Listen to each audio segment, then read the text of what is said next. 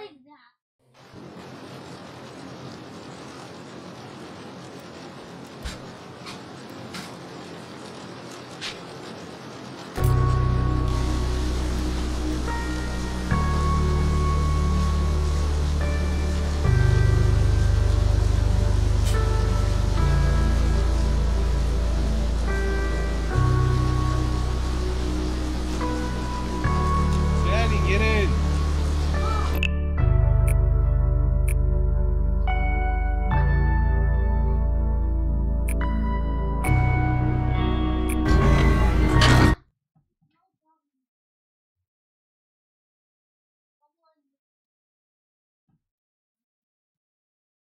Elevator.